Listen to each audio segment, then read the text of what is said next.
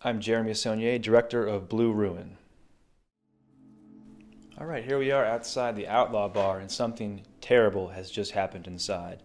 That's Macon Blair, my best friend, who plays Dwight, the unlucky protagonist, a beach bum that goes on this revenge mission, and we pick up this scene after his uh, the mission is surprisingly completed, and this scene is about this surreal aftermath, and Dwight, having survived, uh, didn't plan past this point.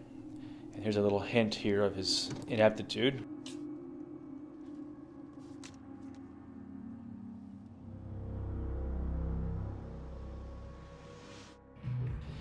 And it's all about exploring the very traditional American revenge bedrock with this protagonist who just doesn't belong.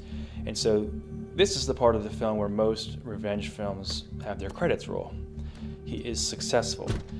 But again, um, this film and this scene in particular is really about exploring well, what happens after that.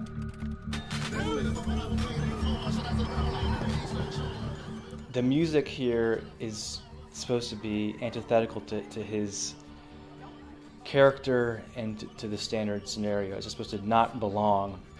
We shot this scene on a small stretch of road in Virginia.